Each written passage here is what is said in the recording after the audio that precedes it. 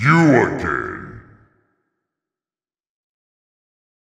Well, I suppose. Come, say your wish.